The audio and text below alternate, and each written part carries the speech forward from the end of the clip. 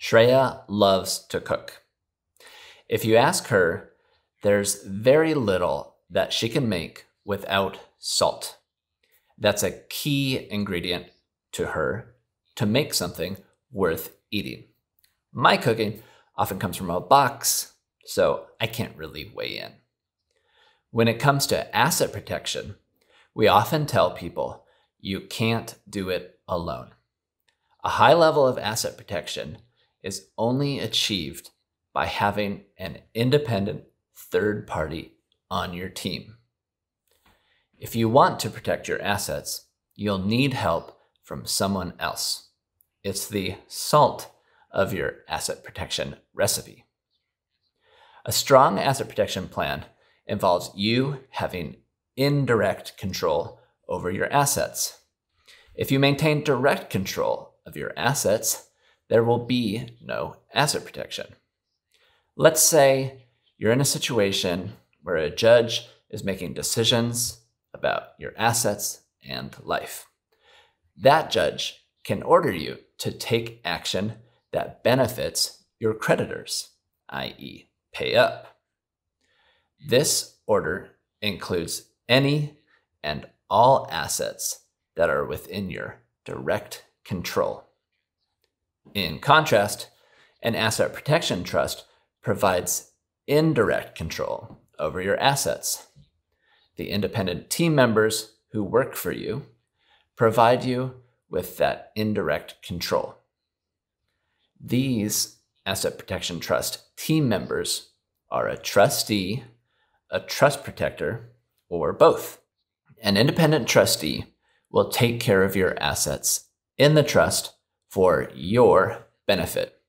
That means anything the trustee does must be in your best interest. If you have an independent trustee for your trust, you will submit requests for money, assets, payments, etc. to the trustee. The trustee will fulfill your request so long as you are not being forced to make that request via a judge or a court order. A trust protector, on the other hand, is like a watchdog for the trust.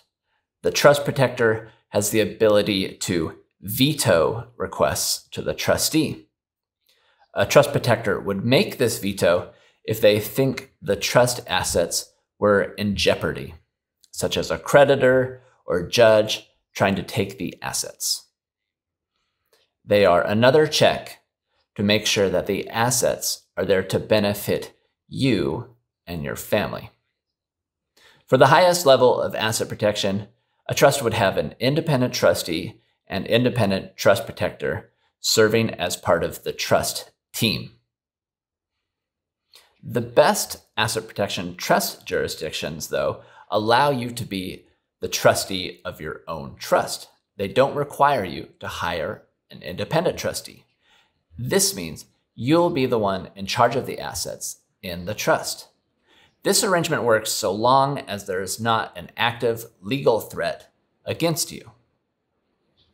If you serve as the trustee of your trust, you must have an independent trust protector on your team. You need at least one team member. The trust protector can then replace you with an independent trustee if there is a legal threat against you that threatens your assets. The trust protector role severs that direct control you would otherwise have over your assets. Remember, direct control equals no asset protection.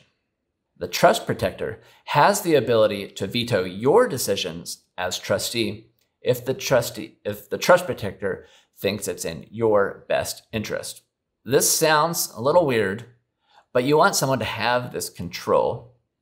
Remember, that judge ordering you to make decisions and actions for the benefit of your creditors, you want someone there to stand up for you when that request is made. Thanks for watching.